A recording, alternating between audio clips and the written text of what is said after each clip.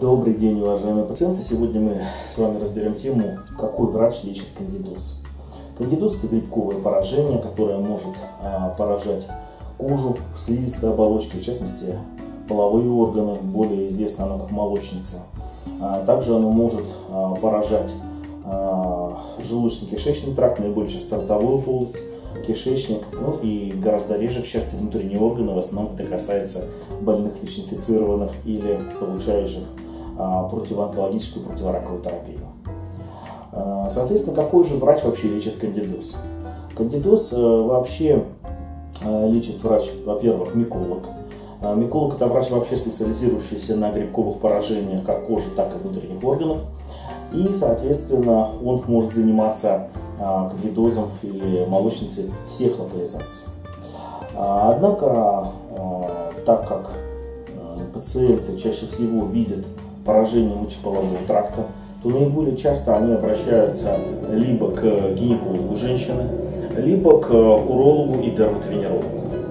Из врачей данных специальностей наиболее подходит для лечения кандидоза дерматовенеролог, потому что он а, может лечить как а, кандидоз кожи, так и кандидоз слизистых оболочек. И вообще сама наука микология вышла из а, такой науки, как дерматовенерология. Поэтому этот врач наиболее часто и занимается лечением кандидоза. Более а, интересно, кто лечит кандидоз слизистых оболочек полости рта и непосредственно желудочно-кишечного тракта. Здесь, конечно, часто этим занимается специалист-гастроэнтеролог, ну и опять же миколог также может лечить кандидоз а, полости рта и кишечника.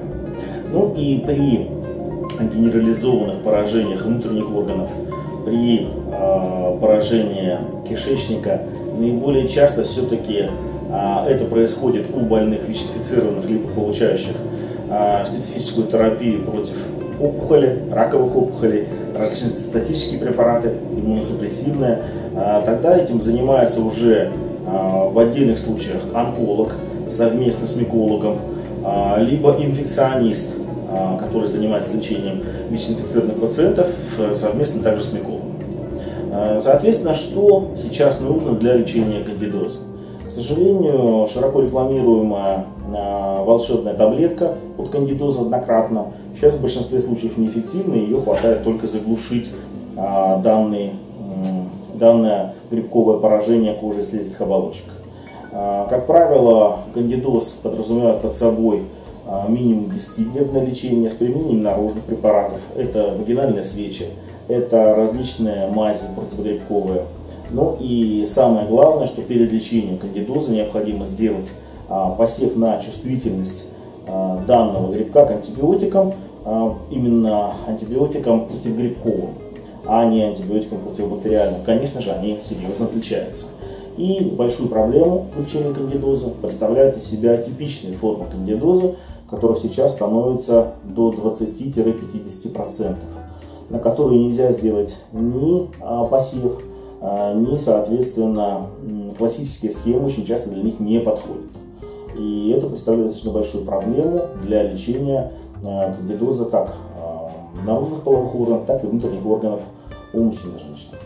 При восстановлении любых локализаций кандидоза Обращайтесь к дерматовенерологам, урологам и гинекологам нашего медицинского центра платной ГВД.